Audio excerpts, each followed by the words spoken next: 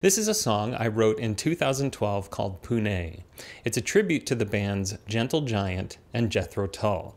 It's dedicated to Kerry Minnear, whom I'm honored to call a friend.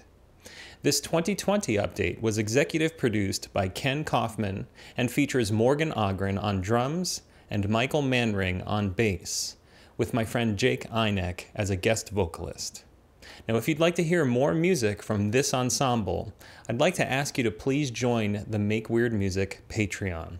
I have a lot of music written for these guys, and I would love to see it become a reality. So, I really hope that you enjoy this video, and it would mean a lot to me if you would share it with your friends. Thanks.